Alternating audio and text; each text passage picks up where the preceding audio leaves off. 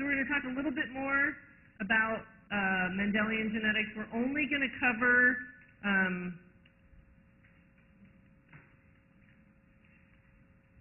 one, not exception, but one other type of inheritance aside from complete dominance. Everything I've talked about so far is complete dominance, right? If you have at least one dominant allele, you look dominant. So homozygous dominant, heterozygous dominant look phenotypically exactly the same. Homozygous recessive is the one that looks different. You will have two phenotypes, right, but three different genotypes. That's complete dominance. That's all we've talked about so far. The only exception to that that we're going to do in here is blood type, just because it's fun, right? And we can play Maury-Povich paternity testing using the Punnett squares for that too. Okay, it's just another example. And so, in and and blood typing gives us two examples of other weird, not weird genetic things, but different things that can happen. So for the complete dominant stuff, the traits I've talked about so far, and all the diseases, cystic fibrosis, albinism, lobster claw, hitchhiker's thumb, all of the tongue rolling, all of those have only two alleles that exist in the world, in the gene pool. Okay? You're either a tongue roller or you're not. You either have attached or detached. Right? You either have the albinism allele or a normal allele. For blood types, there's more than two alleles out there in the world, in the gene pool. Any one of us can only have two of them at a time. Why can we only have two alleles at a time?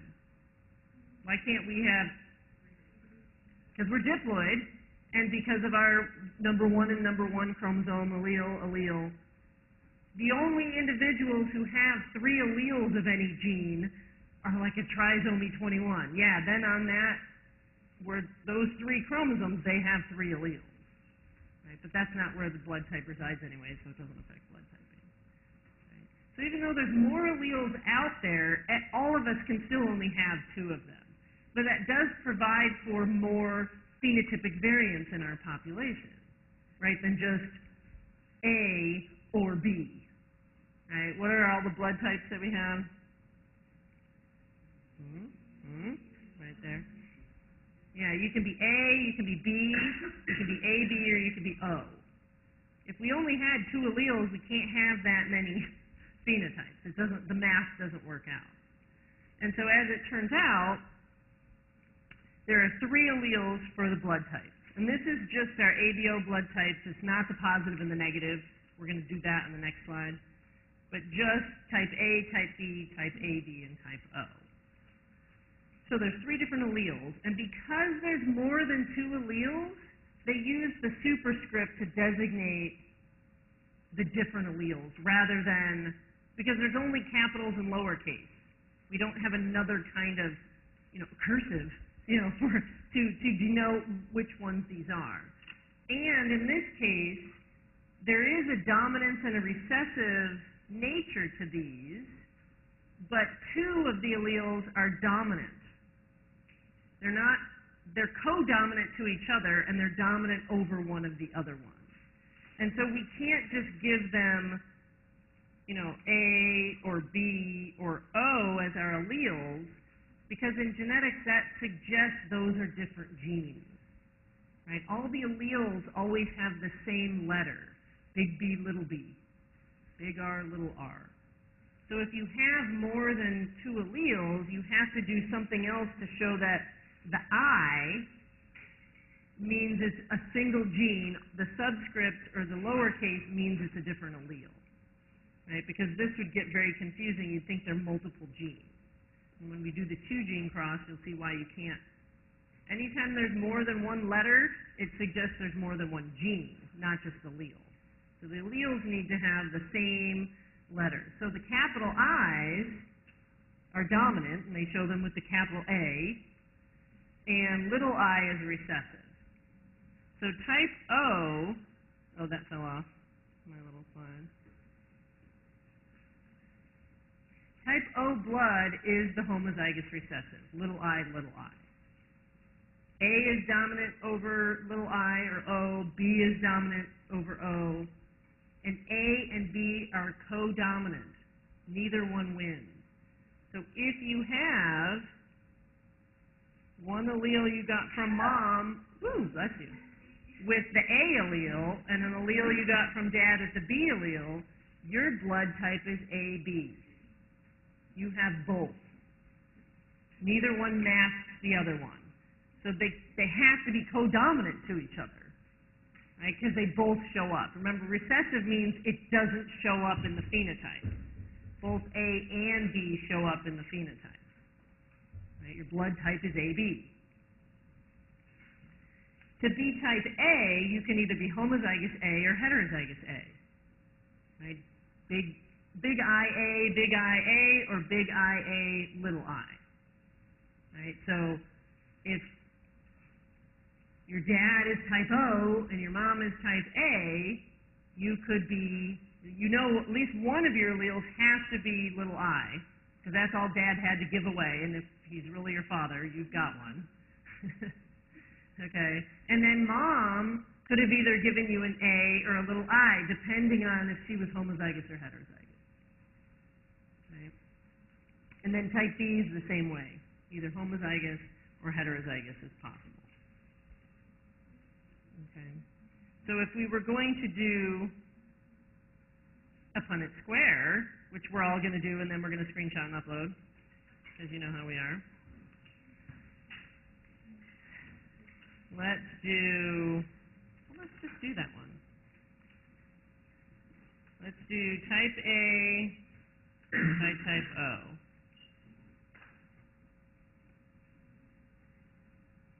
Okay, we'll do heterozygous A to O. You fill out your little square and you'll screenshot and upload. So this is just a standard one gene cross, one normal. Right? There's another allele out there, but you see that each person only has, right? You can't be II I or IIID, or you, ha- you can only only have two. You only have that pair of homologous chromosomes to hold them. And what are all the possible blood types of the offspring of this couple?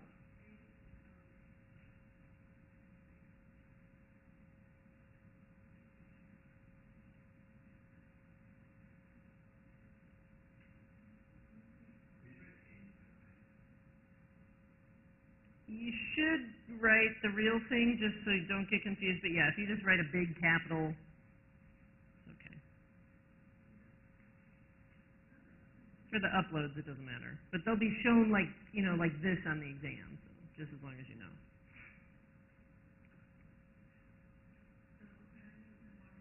So then what's this guy, sorry. If, if, so if I ask for blood type, right, for this, these guys, you'd say their blood type is A, right? Their genotype is heterozygous A. And what about these guys? Yeah, their blood type is O. So this would be like a test cross, right? If you didn't know what, if mom's just blood type A, the Red Cross just tells you blood type A. They don't tell you homozygous, heterozygous, right? But, and dad's O, so then that couple decides to have 10 kids, right, to make sure their numbers are good enough for probability. And if at least one of the offspring is type O, they know mm-hmm. mom has to be heterozygous. Now they'd have to have 100 kids to really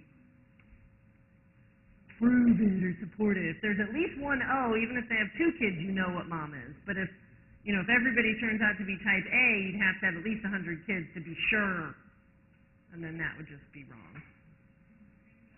Yes, please. Whatever the first one of today's deal.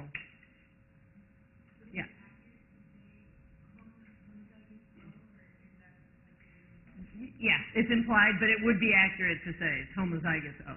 Yeah.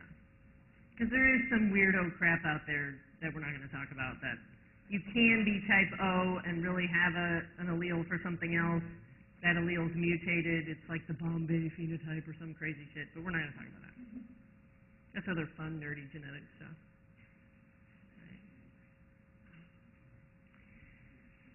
And then we could also play little games like Mo- let's see. I always screw this up too. Um,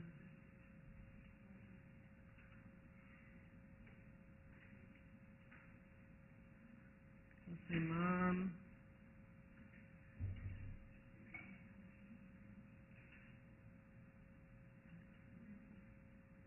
Hmm. Hmm.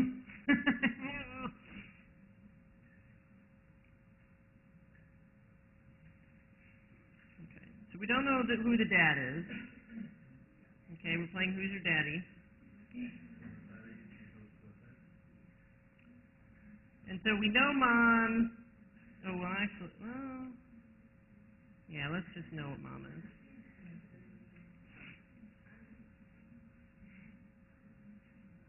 Okay, now, now I know what I'm doing. Sorry, I was having a moment. Okay. Yeah, and, and again, which side you put stuff on, it really doesn't matter. By convention, yeah, I kind of always put it down there. I don't know why, but it it doesn't matter. You can do whatever you want. Yeah. Yeah. So let's Moodle upload the one you guys just did, and then we'll Moodle upload this one too. So this would be like a question I might ask on an exam, or you know, some fun question. Okay. So a mom who's type B has a baby who's so we know this baby exists. This is a baby. Baby with type O blood. Okay, and she's got five potential fathers lined up behind the curtain. right? And they're trying to prove that they're not the father or whatever. Okay? And so then our question is so because the baby's type O, we know mom has to be heterozygous B. Why do we know that? Yeah, because she gave one away, so she had to have it. Right? One of this this eye, we'll say is this eye. One of the eyes had to come from mom, the other eye, you know, has to come from dad. So the father has to have at least one little eye. So which of the which blood types of the men behind the curtain are they cannot prove they're not it. They're totally screwed if they're type if they're well, if they're type AB, they're off Yeah. Right. If they're type AB, are they off the hook? Yeah, because they can't give up a little, right? So the two guys behind the curtain that are type AB, you know, do a victory dance and leave. Right? Who who totally there's no possible way they could even argue at all that they're not. Right. Mo- oh, oh for sure, right? Because O's got two little eyes. You you're there's no way you could say, oh, but I'm homozygous A. Right? Anybody who's type A blood could be this or could be this. So then we'd have to do PCR sequencing or something else to get this guy off, you know, that guy off the hook. Yeah, type B and type A are screwed too. On Maury Povich, they're not going to be doing any molecular biology. So they're still, those three are the candidates, right? And so them, so they're not usually super smart there. And so they'll argue, but I'm type A, I can't have a type O baby. And then you guys would be like, uh-uh, no you didn't, because they could be heterozygous and give that away. If they're, if they're O, then he can't argue at all. You have two little eyes, it's totally possible for you to be the dad. But the type A person might argue, but I'm type A, how could I possibly have type O? And then we explain to them that if you're heterozygous A, if you were homozygous A, then you're off the hook. But you can't tell that just from your Red Cross card of blood type, right? You have to do more than that. Yes. Yes. Just write something that makes sense. So the the type A guy. So how could the type A guy prove or support or whatever that he's homozygous A? Are there any people out there related to him that he could bring in a blood type card and a specific blood type would totally get him off the hook? His parents. What do both his parents have to be for him to be homozygous A? But we don't know because they're just a type listed on their stupid Red Cross card. Because we, we only know phenotype from that. What phenotype, which tells their genotype, would they have to be for him to be A and get two A's? AB, right? They both have to be AB. Let's, let's do a square, shall we? I love it. So here's our man, who's, who's, you know, he's type A, and we want to know what his parents are that can make sure dad has to have an A and mom has to have an A. Right. Yeah, do the second upload on that one. Right? Sure, what the hell? I know, it's points, people. Right. Can you take, yes, take a picture of the screen and upload it. I don't want to draw anymore, guys. You're killing me. No. But we wouldn't know just by their type. Yes, they could in reality be homozygous dominant A, homozygous dominant A, he can only be homozygous dominant A. But what, but if all he has is their Red Cross blood type card, it just says A. It's that stupid A problem. Like, I'm type A and I don't know if I'm homozygous or heterozygous. And you know that keeps me up at night. I can't sleep thinking about my genotype. Yeah.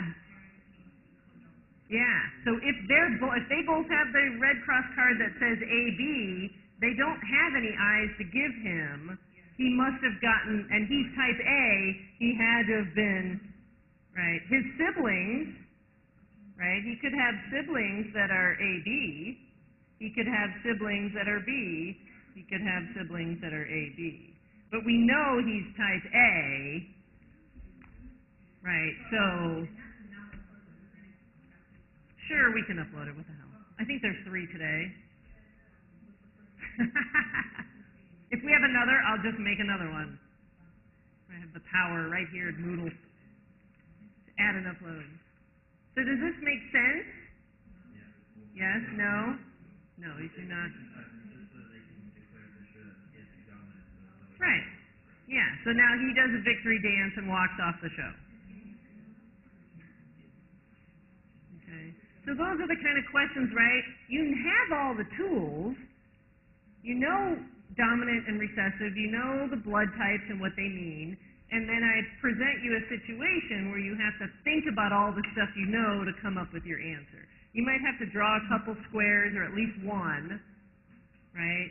I can give you the the phenotype or the genotype of the child. You tell me the parents. I can give you the parents. You tell me the child.